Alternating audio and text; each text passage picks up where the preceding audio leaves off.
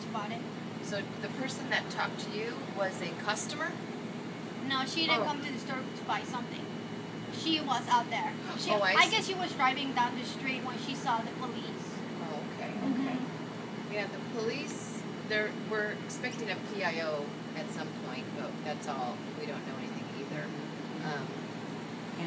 Yeah, So I you- don't know much about it. What time did you open up this morning? Seven. Seven. So So, it happened time- right after. That happened at about seven thirty. Mm-hmm. Seven thirty it happened? So 7:30. you, you were opening up your store or what were you doing? Oh, Mm-hmm. I was making the coffee when I heard that. what did you hear? You were Uh, when making I heard the gunshots. Okay. There's a customer. Yeah.